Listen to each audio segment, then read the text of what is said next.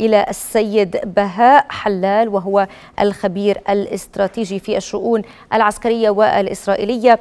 يعطيك ألف عافية سيد بهاء. بداية يعني هناك عملية دقيقة حدثت قبل قليل في الضاحية الجنوبية. هل هناك أي تأكيد ما إن تمت أو كان هناك نجاح لعملية الاغتيال أم لا؟ مساء الخير. بس أود أن آه، أصحح. أنا لست خبيرا في الشؤون الإسرائيلية أنا خبيرا في الشؤون العسكرية والعلاقات الدولية. نعم. أهلا وسهلا بك آه، آه، طبعا هناك عملية كبرى عدوان أساسي قامت به قام به العدو الإسرائيلي واسفر عن تدمير منطقة سكنية كاملة وبالتالي استعملت فيه قنابل أمريكية وهي أم القنابل.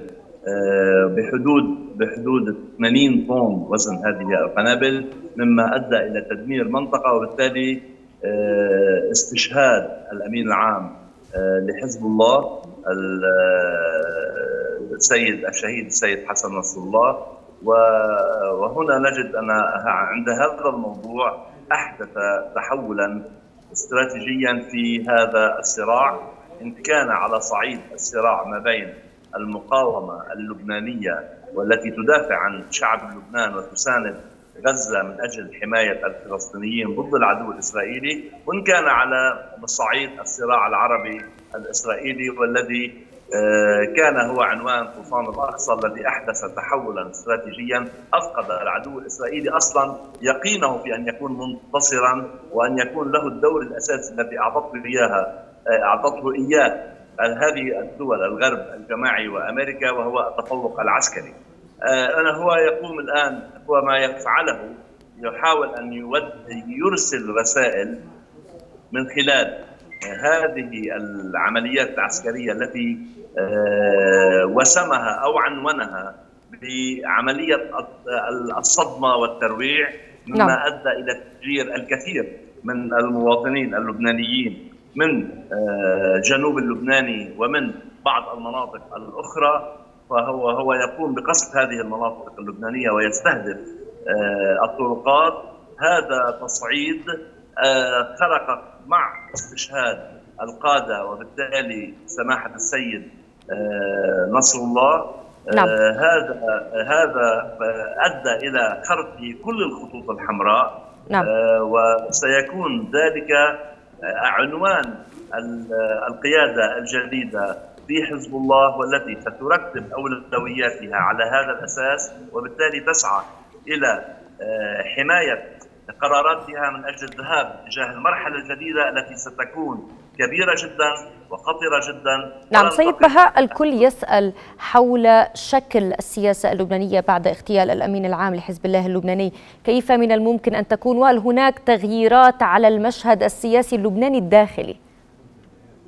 لا أعتقد أن هناك أي تغيير أن المقاومة اللبنانية مع ارتباطاتها في الداخل اللبناني وارتباطاتها مع حلفائها في الخارج عبر محور المقاومة وبالتالي اعدائها الذي آه، هي بمواجهتهم أعدائها التي هي بمواجهتهم آه، سيبقوا هم لم يتغيروا والمقاومة هو هي آه، مجموعه هي مجموعة أشخاص انتظموا ضمن إطار ضمن إطار معين ملتزمين بعناوين أساسية ومبادئ. لا تتغير مع الأشخاص وبالتالي مع قيمة وأهمية و... و...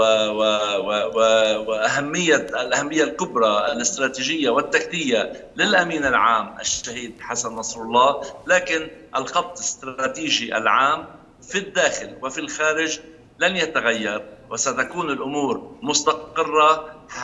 وبالتالي نحن نأخذ ذلك مثلا على ذلك. استشهاد سماحة الأمين العام السابق الأسبق عباس الموسوي الذي استشهد أيضا بصاروخ إسرائيلي حينها وهو بسيارته خارجا من احتفال. فلم لم يتغير في في ذهنية أو في مبادئ أو في حركة أو في استراتيجية المقاومة حينها أي شيء من الموضوع مما وصلنا إليه وبالدليل وصلنا إلى قيادة السيد حسن نصر الله رحمه الله نعم الاحتلال الإسرائيلي يقول بأنه فرض حصارا عسكريا على لبنان كيف تقرأ هذا التصريح؟ عمليا الإسرائيلي هو منذ أكثر من عشرة أيام أو خمسة عشر يوما يعني منذ الضربات الأمنية التي نفذها هو يحاول أن يضرب يشن الحرب النفسية عبر بث التهويلات وبث الأخبار والشائعات وبالتالي بالعمل بالضغط بالضغط على على على على البيئة الحاضنة للمقاومة وبالتالي على اللبنانيين وبالتالي على الدولة اللبنانية. من أجل خلق حالة قلق وحالة وحالة اضطراب مما يؤدي إلى بلبلة في الداخل اللبناني برأيه وبالتالي مما يؤدي إلى إصابة هذه البيئة الحاضنة بما يسمى الانهيار الإدراكي. وهذا الانهيار الإدراكي عادة في علم العلوم العسكرية يشغل عليه من أجل ضرب البيئة الحاضنة للجيوش وهي تكون للدولة أصلا. إذا كان هناك جيش. لكن هون يعمل على البيئة الحاضنة الشعبية من أجل أن تنهار فهكذا يسبق برأيه يسبق الانهيار العسكري ثم تنخفض إرادة القتال عند المقاومين مما يؤدي إلى السماح للعدو بالنفاذ من ثغرات معينة إذا أراد أن ينتقل إلى مرحلة أخرى. وهو اليوم ينفذ المرحلة الثانية من من من عملياته العسكرية وهي عملية التحكم بالتصعيد من أجل جعل هذا التصعيد ضغطا مع التهويل الذي يقوم فيه. عملية الحصار العسكري على لبنان كما أعلنه منذ قليل هو يعتبر أنه سيراقب المطار وقد وقد فعلها إذ أنه منع إحدى الطائرات الإيرانية التي تحمل مساعدات إنسانية أن تهبط مطار بيروت عبر خرقه لأجهزة الاتصال في في مطار بيروت وحذر من هبوط هذه الطائرة فما كان من من إدارة المطار إلا نسقت مع الطائرة حتى لا يعني حتى لا يكون هناك إصابات أو هناك استهدافات للمطار وبالتالي لسلامة الطائرة أيضا و و و وراكبيها. لذلك أنا أعتبر أنه الآن يقوم بالتحكم بالتصعيد. لكن خل فلننتظر رد المقاومة بعد أن تستوعب ما حدث وتقوم وتعود إلى منظومتها منظومة القيادة والسيطرة التي هي ما زالت متماسكة من أجل رد الفعل الذي سيضع الأمور في نصابها. يعني سيد بهاء أنت مع الرأي الذي يقول بأن لربما هذه صدمة لكن هناك تنظيم قوي قادر على يعني ال ال ال يعني إكمال هذه المسيرة. طبعا طبعا طبعا وبالتأكيد بنيان المقاومة العسكري والميداني ما زال متماسكا قويا موجودا وبالدليل هو يعمل منذ الصباح على استهداف كامل بقعة الكيان. نعم. وصولا إلى عكا إلى مرج بن عامر. قد قصفت كل القواعد العسكرية. ولن ننسى أن هذه المقاومة هي مقاومة أصلا يعني وجدت من أجل قتال إسرائيل.